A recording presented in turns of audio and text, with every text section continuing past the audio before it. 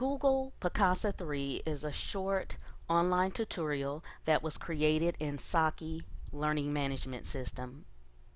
The course teaches students how to use the free Web 2.0 tool called Google Picasa 3 to create a digital movie.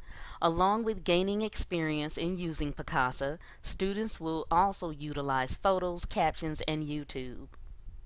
If you look to the left, the first area that I created in this online tutorial was an area for announcements that allowed students to receive announcements each time a particular assignment was ready.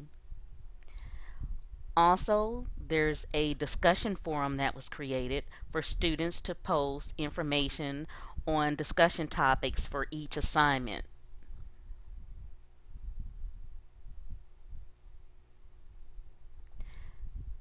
The assignment box consisted of three short modules. The first one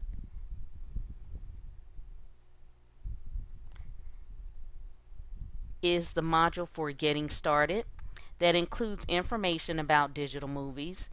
It also includes objectives for that particular lesson.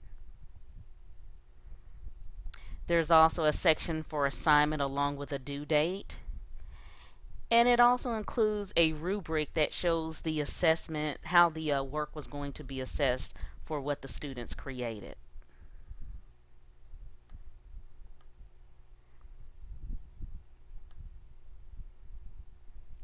The second module consisted of teaching students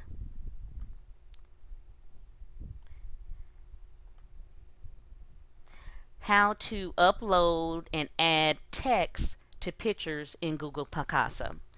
This also included objectives. It included assignments that were due, assignment 1 and assignment 2 that students can do in order to create a digital movie.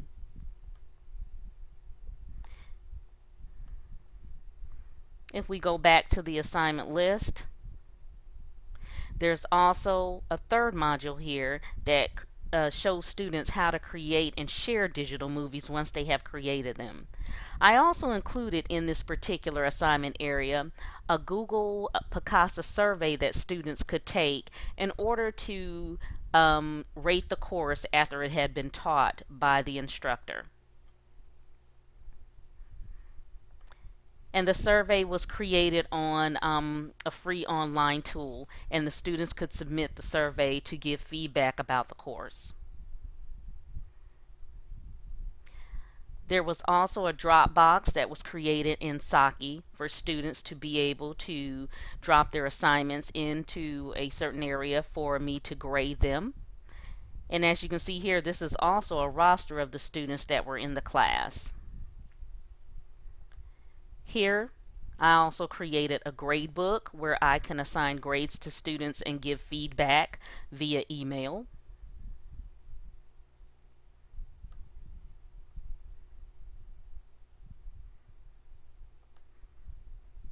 The Google Picasa 3